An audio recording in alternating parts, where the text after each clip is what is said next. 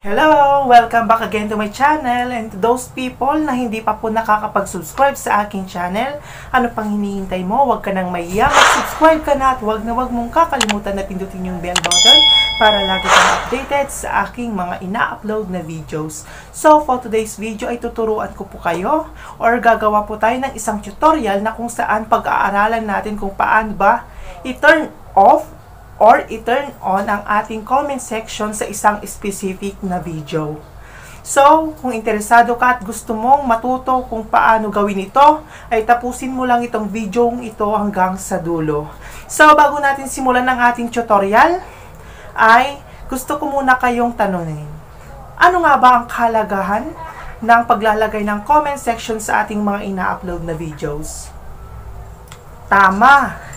Napakahalaga po ang paglalagay ng comments sa ating mga ina-upload na videos sapagkat dito po tayo nakikipag-communicate sa ating mga viewers, sa ating mga followers, and of course sa ating mga supporters. So sa pamamagitan po ng comment section ay nababasa po natin at nalalaman po natin ang mga reaksyon, komento, at mga suggestion ng mga supporters at mga viewers natin.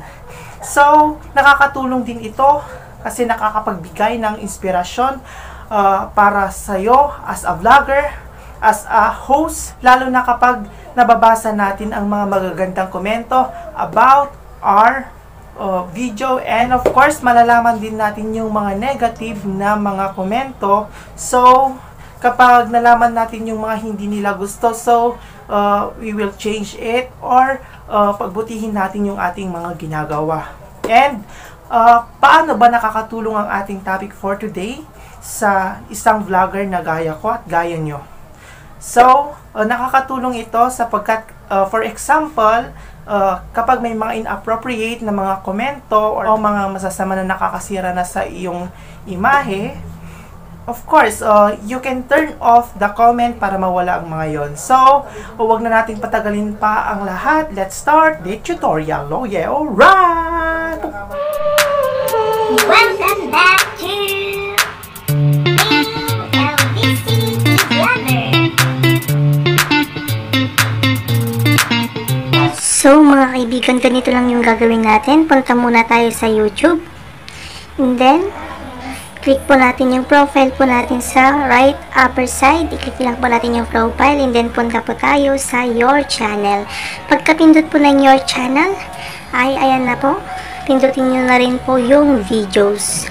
So, pagkapindot ng videos, ayan na po, nandyan na po yung mga videos na in-upload nyo. So, pili ka ng mga ito turn off mo or ito turn on na comments. So, sa TikTokers tayo. So, pindutin lang yung TikTokers na in-upload ko. And then, tignan natin yung comment section kung turn off or turn on. So, as you can see, naka-turn off po yung comment section. So, ngayon dito turn on natin dyan. So, go back to the wallpaper lang po para ano, uh, i-turn on po natin. So, kapag nasa wallpaper ka na ay punta ka sa YouTube Studio, dapat po naka download po naka-install yung YouTube Studio po sa inyo. Click nyo lang po yung app. And then, ayan na po, papasok na po tayo. So, ngayon ay pindutin nyo lang po yung tatlong underline po sa left upper side. Pindutin lang po yung nasa gilid ng dashboard. And then, pindutin po natin yung videos. So, dahil TikTokers yung papalitan natin, i-click lang po natin yung video. And then, pag-click natin ng video, ay may makikita po kayo na pencil sa taas. Yung lapis po dyan, pindutin nyo lang po dyan. And then, pindutin nyo po yung advanced setting. So, pag pindot nyo po ng advanced setting, ay ayan na po yung magpapakita.